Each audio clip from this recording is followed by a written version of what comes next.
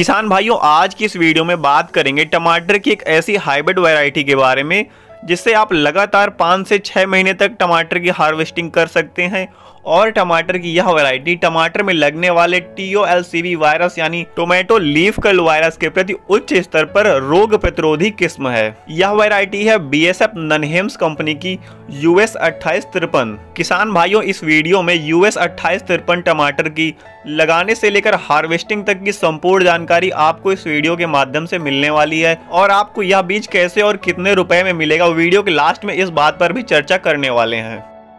नमस्कार किसान भाइयों, मैं आयुष कुशवाहा, स्वागत है आपका mister Hind farming YouTube channel पर। किसान भाइयों, यूएस अट्ठाईस तिरपन वैरायटी टमाटर की एक हाइब्रिड वैरायटी है, जिसको बी एस एफ़ ननहेम्स द्वारा विकसित किया गया है। किसान भाइयों, यूएस अट्ठाईस तिरपन वैरायटी के पौधे इनडिटर्मिनेट यानी लंबे और नियमित बढ़वार वाले होते हैं, और इस वैरायटी के पौधे उच्च स्तर पर टीओएलसीवी वायरस यानी टोमेटो लीफ कर्ल वायरस के प्रति सहनशील होते हैं, जो गर्मियों के मौसम में उच्च तापमान के प्रति भी सहनशील हैं। टमाटर की यूएस अट्ठाईस तिरपन वेराइटी के फल गोल आकार के 100 से 110 ग्राम के और लंबी दूरी यातायात के लिए उपयुक्त हल्के मोटे छिलके के होते हैं।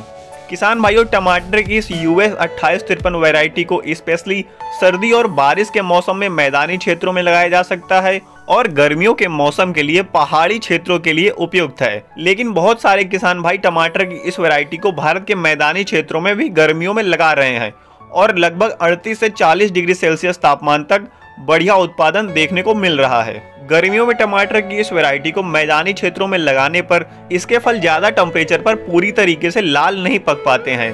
बस यही एक समस्या देखने को मिलती है, जिसको क्लाइमेट कंट्रोल पर ध्यान देकर पूरी तरीके से नियंत्रण में लिया जा सकता है।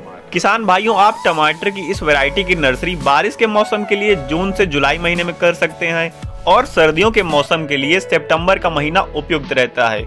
इसके अलावा किसान भाइयों, गर्मियों के मौसम के लिए आप इसकी नर्सरी दिसंबर और जनवरी महीने में कर सकते हैं। टमाटर की यूएस अट्ठाईस तिरपन वेराइटी टमाटर की एक इनडिटर्मिनेट प्लांट टाइप की वेराइटी है। इसके पौधे थोड़ा ज़्यादा बड़े और चढ़ाव वाले होते हैं।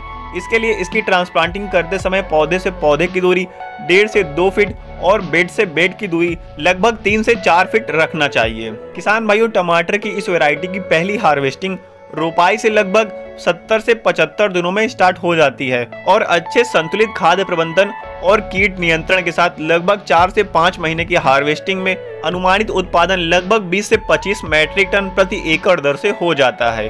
मार्केट में किसान भाइयों, इसका 10 ग्राम सीड्स लगभग पाँच सौ रुपए में उपलब्ध है। यदि आपके लोकल मार्केट में यह बीज उपलब्ध ना हो तो डिस्क्रिप्शन में दिए गए लिंक से जाकर ऑनलाइन बीज खरीद सकते हैं। और वीडियो में दी गई जानकारी अगर आपको पसंद आई तो प्लीज़ वीडियो को लाइक करिए और ऐसे ही खेती किसानी से जुड़े वीडियो देखने के लिए चैनल को सब्सक्राइब करिए। मिलते हैं नेक्स्ट वीडियो में, तब तक के लिए जय हिंद।